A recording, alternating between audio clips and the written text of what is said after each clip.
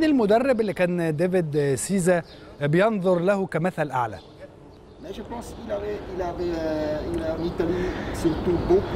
في إيطاليا ممكن في مدربين كتير كويسين دخلوا التاريخ.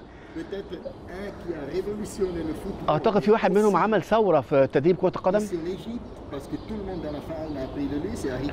هو أريجو ساكي طبعا عارفينه في مصر حتى كويس جدا ده مدرب كبير جدا أريجو ساكي. وغير غير نظرة التدريب عرفنا نشتغل بطريقة مختلفة بفضل الطريقة اللي حطها واشتغل بيها وأعتقد إحنا كلنا بنتبع طريقته لغاية دلوقتي.